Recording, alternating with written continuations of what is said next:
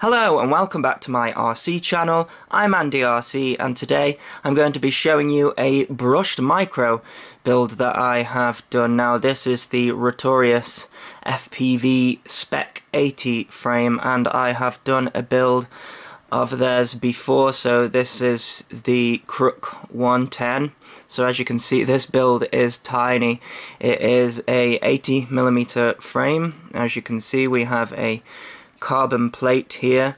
And then we have these motor mounts here. And those screw into it underneath like so.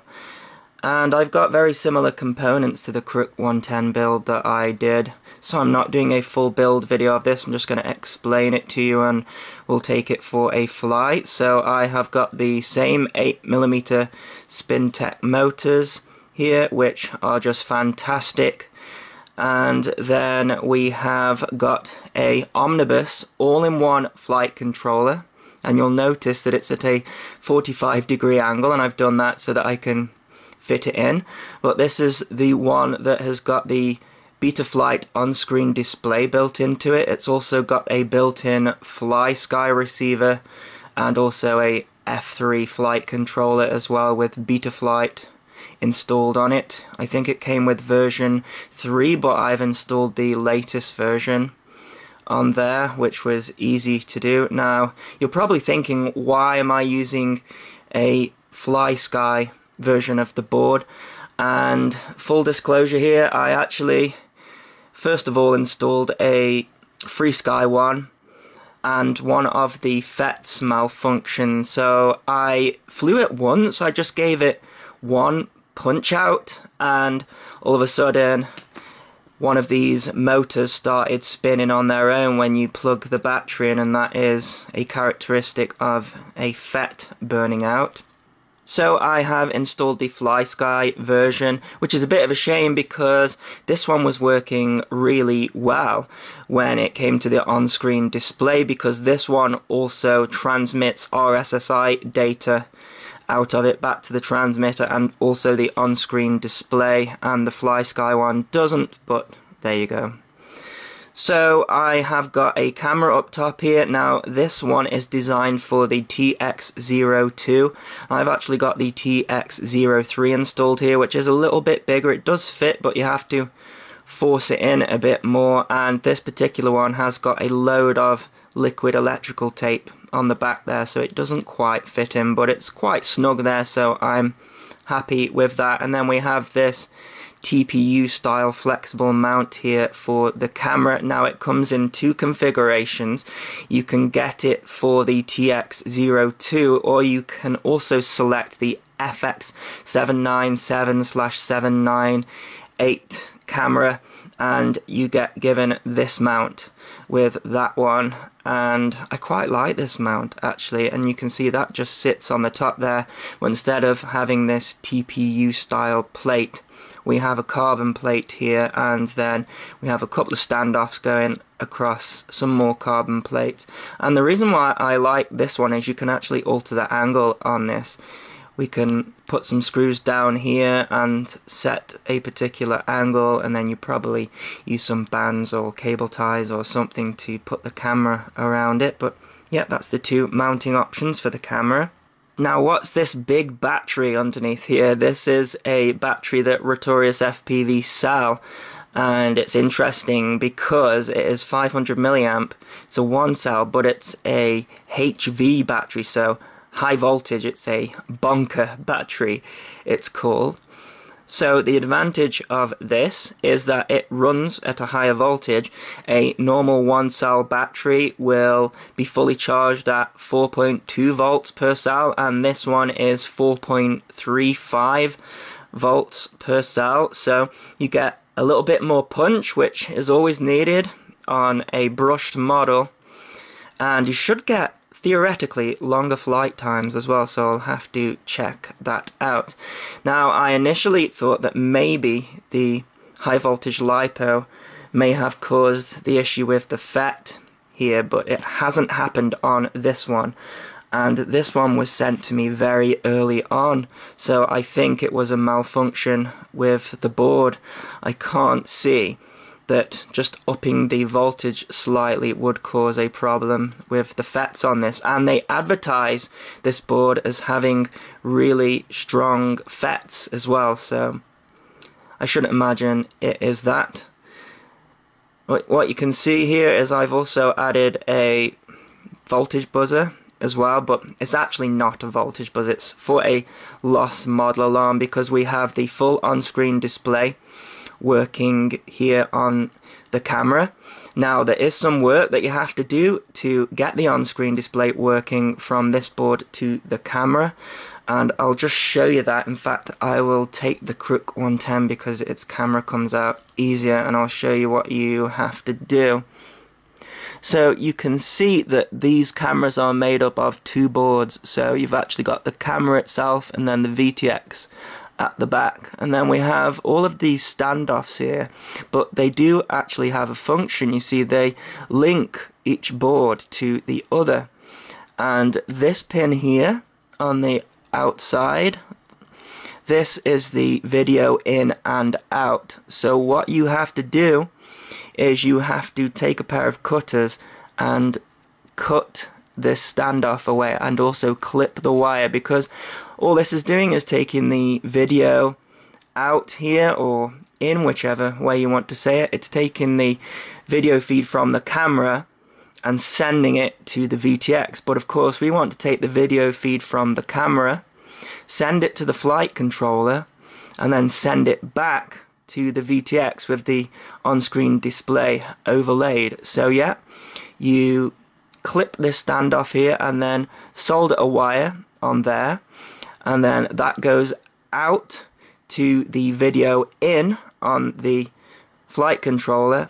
And then there's a video out on the flight controller. And then that goes into that back pin there and that is why I have used this camera to show you that because once that is in place there these solder joints are really really tiny. So if you mess around too much with it those are going to break unless you put liquid electrical tape over the top there. But that is what I have done on this guy. So yeah you are going to have to break your camera up. However there are some cameras out there of this size that do have video in and video out without having to modify the pins or anything like that. The camera that came with the Aurora 90 and also the Eachine 105 Bat already had video in and video out pads on it, so I imagine we'll be seeing those cameras come out soon. And those cameras are tiny as well, even smaller than this one. So you might notice that I am using a JST connector here to the flight controller and I usually use a micro Losi. But that is because these high voltage batteries here use a JST connector and that is for a reason. You see some people say that the micro Losi can be a bottleneck for these brushed micros in that the connector and the wires are too thin to allow the optimum current to flow through them for the flight controller and motor. So supposedly with a JST connector you should get a bit more punch as well as the extra punch that you get from the higher voltage of these batteries. And speaking of the higher voltage of these batteries, you're going to need to find a way to charge them. And a lot of conventional chargers. I say conventional, I mean sort of the older chargers, such as the B6 ACV2, can't charge high voltage LiPos. So I'm using this guy. This is the ISDT charger, and this model is the SC608. And I'm using a little converter here. So this is a XT60 going into a Dean's going into a JST connector and you've got the option to charge a one cell battery in HV which is 4.35 volts. So I'm using this to charge this battery. This is from Banggood and then I'm using the Banggood power supply as well for this which goes in the top there. So that's how you charge these batteries. So I've taken the top off here so you can see all the connections. So this is the front of the quadcopter and this is the back and you can see I've got it at a 45 degree angle and that is because this board doesn't fit in lengthways like that, but that is fine in that configuration. We just change the board orientation to 45 degrees. So as I say, this is the FlySky version, so we have a bind button up there, and there's a very specific way how to get this to bind. So it's using the latest FlySky protocol, which is the AFHDS2A protocol, so it'll pretty much work with any FlySky transmitter. What you have to do is turn your transmitter on holding down the bind button. You have to do that first and then you have to press down this button here and I plugged in the USB connector there and then it will bind. I was trying to press this button and plug it in and then bind the transmitter. It only works one way so that's something to bear in mind with this one. The FrSky version is easier because you can just do it in any order and there's also a DSMX DSM2 version as well. Then we have the antenna which is coming down here and this is just stuck on with a double-sided sticky pad that you get in the package. So here we have the plus and minus for the JST connector which I soldered on. And then we have the four motors here, so we've got motor 1, 2, 3 and 4. So you can't have this in a hexacopter configuration, just a quadcopter. And the way that this goes, it's different to other boards actually. It goes plus, minus, minus, plus, plus, minus, minus, plus. And then here I have soldered my beeper directly to the board to save weight. However, I don't really recommend doing this because this can lift up and rip the pads off and then you can't use a buzzer at all. So it's best to have a little bit of wire there. So don't go by my example there unless you want to risk it which is what I'm doing. And then here we have got the plus and minus for the 5 volt out to the camera. So I've just used a little JST connector there, it's 1.25 pitch. And then here we have the video in. So this is coming from the front of the camera and then we have the video out and that's going into the back of the camera into the VTX and it's as simple as that really. And it's running in a NTSC format for this particular camera but of course it's Betaflight so you can choose NTSC and PAL or automatic if you like and then of course we have the USB connector at the back here as well. So for the transmitter, I'm using the FlySky i6X. I did a video on this previously on how to set it up. I've just got a couple of switches enabled here. I've got that for my arming and this for my mode switch, which we'll check out in Betaflight later. And then for FPV, I'm using my Fat Shark Dominator HD3s with a Invader patch antenna from Menace RC. Amway cloverleaf antenna there and the Fat Shark diversity receiver in there as well and this is so I can use the DVR to record the footage that this guy is going to take.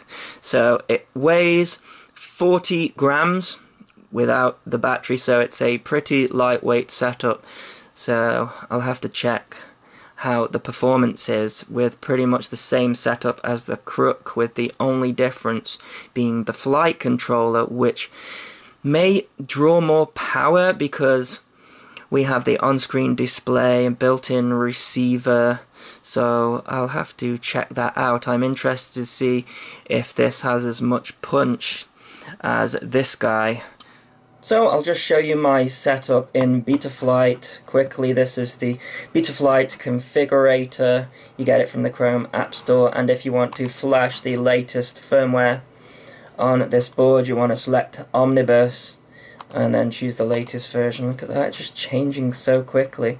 I set the manual baud rate to this and loaded the firmware online. I had to mess around switching the drivers a little bit and it loaded eventually and then you can see it says COM9 at the top there so I'll just take you through my settings just enable expert mode.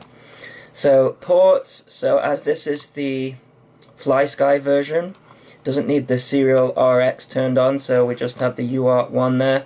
Now I have experience of the FrSky version and that does need the serial RX turning on but mine was turned on out of the box with that one. So if we go into the configuration, you can see Quad X standard, and then down here, board alignment 45 degrees. That is just because the board is offset there to get it to fit in and I can just about squeeze a USB connector in there as well between the board and the motor so up here we've got brushed, obviously, because it's a brushed model, otherwise the motors will spin up when you plug the battery in. I've got motor stop turned off so that the propellers spin up when it arms, just my preference. And min throttle, max throttle I haven't touched. Then down here we've got battery voltage on. I have turned down the warning to 2.9 volts because this is a one cell battery so it should be able to go pretty low and I really dislike those warnings anyway. I land when I want to land when I'm looking at the voltage not when a warning comes up. So I've just set that really low. And then current meter, now this board does not have a current meter. I tried turning it on and I just got a reading of zero so even though it's turned on that you can see it says zero there. You can see we've got 0. 7 volts coming through on the VBAT from the USB cable so current sensor does nothing. And then on-screen display turned on here for the on-screen display. So let's go into the failsafe and it's set to drop out of the box so that's fine. Let's go into the PID tune. Now these are the stock PIDs I've just bumped the D up to 37 this is just a stock tune that I like to put on these micros. I tend to find that they need a little bit more D and we'll see how it flies with that. I've also upped the Super 8 to 0.8 and everything else here is standard. So receiver, as I'm using FlySky, it's AETR and everything else is the same. You see there it says RSSI channel disabled.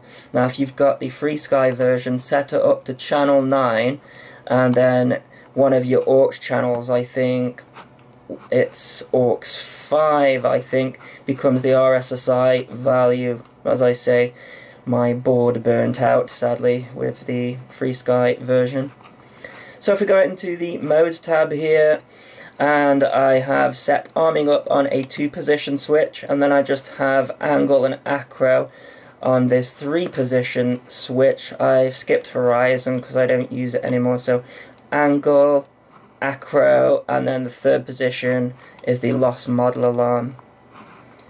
So if we then go into the OSD, you'll see that I have disabled the crosshairs and the artificial horizon, and I've also disabled the on time, but I've got the flight time, the flight mode, the craft name, which I've set to NDRC, and the main battery voltage. So the craft name that is found in the configuration tab down here. So just put NDRC there. So if we go back into there, you can see that for this camera I've got it set to NTSC. If you set it to PAL, then you can put all of your stuff down here, but with this particular camera it goes off the screen, so set to NTSC there, and all of this doesn't really matter because we don't have RSSI there.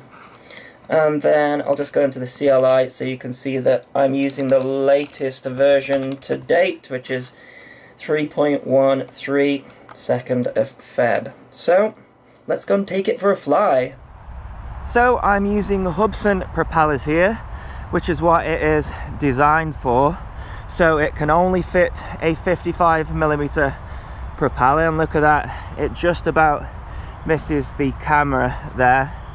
So these are really the best props to use. I'm also using the clear propellers as well so we don't get so much in shot when doing FPV now you can put other props on there but you'd have to cut them down. Anyway let's take this guy for a flight. So I've got my transmitter here. Turn that on first and then plug the battery in so the lead on the battery is quite long you can hear my beeper going off there I'm going to put it on this cool Rotorious FPV landing pad look at that so I'm going to keep it in angle mode first of all and let's arm it and see what happens. We're away! Oh, this thing is so tiny. I hope it's going to come out okay. So I'm only using 25 milliwatts on the camera because that's all that it needs really. Let's go for a punch. that's not bad at all. I'm not sure if it's got quite as much punch as the Crook 110 and I think that might be a couple of things. First of all, we can't have the Rolling Spider propellers on. But also this all-in-one board may be drawing more power away from the motors with that on-screen display. But it's not bad at all though. It's it's not bad. Oh, it's so small though, I can't see it. There we go. Let's try the acro mode. I'm gonna have to keep this in close because I can't see which way it's going. it's so tiny. There we go. Keep it in close.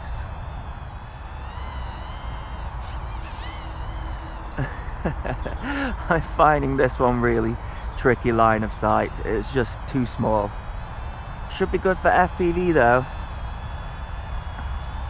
and hopefully with this high volts battery we should get more flight time.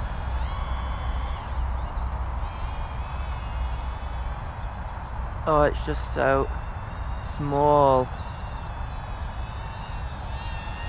Have to keep it about this close line, line of sight but it's not designed to fly line of sight really. It's designed for FPV and I think flying it indoors line of sight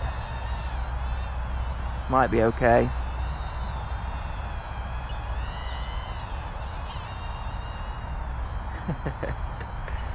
Righto. Oh.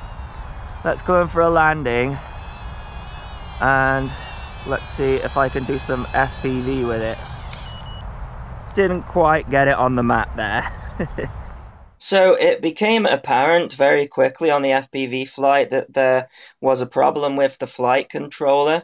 You can see everything looks fine here and it's doing rolls quite nicely. But then all of a sudden out of nowhere it would just sort of fall out of the sky. Can you see there I'm doing a roll and it would sort of tumble. And at first I assumed that there was a problem with the tune. I then proceeded to spend four hours trying to tune out the problem. And you'll notice actually that the quadcopter is flying really smoothly, like butter, you know. But then all of a sudden, I'll do a maneuver like there, and it'll pitch backwards. Now, pitching backwards is a characteristic of not enough I, and I would increase the I, and it would tumble out of the sky even more. I'd decrease the I, and it would fly a little bit better but it would still pitch up and down while I was flying. So, yeah, I think it's a problem with the flight controller. As I say, one already burnt out on me, and then I spent four hours tuning it to no success. And then I thought, well, maybe it's the alignment. Maybe somehow having it at 45 degrees was messing the weight up which I very much doubted because that battery underneath is a huge part of the weight distribution. So I have had boards in that configuration before and not had a problem. Anyways, I thought I'll go and align the board so that it is facing forward. I just removed one of the standoffs and it was fitting fine. I went to plug it in and the board died. So it wouldn't power up, completely dead. So that's two dead boards of these. So I struggle to recommend the board. And I notice that at the moment it's currently in the restocking sort of phase at Banggood. So maybe they have realized there's a problem. I noticed people were having problems with the DSMX version of this board, so you can see it pitching back there as well. So maybe there is a problem. My conclusion of this flight controller would be that it is fragile. so there you go. And it's very similar to the one in that Eachine Bat that I reviewed, and that one flew fine. One thing that I am noticing with these all-in-one boards with on-screen displays, though, is that they do sap power from the motors. And when I think about a 250 quad, if we were flying, say, like a mini quad and we noticed that an on-screen display sapped a bit of the power, no one would run an on-screen display. So I think that maybe they aren't quite ready yet. That Eachine Bat used 10 millimeter motors, and I think it was using them for a reason. Now, sadly, this board does not run a 2S, so you can't really run 10mm motors and get decent results out of it, in my opinion, but there you go. The good news is, though, the frame is fantastic. I think Rotorious FPV have done a great job. I literally couldn't fault the frame at all, and I think it would be much better suited to something like a multi-flight board, which is smaller, or the board that I used in the Crook 110 build, because that came out very well and it was more powerful than this one. And I really like the batteries as well.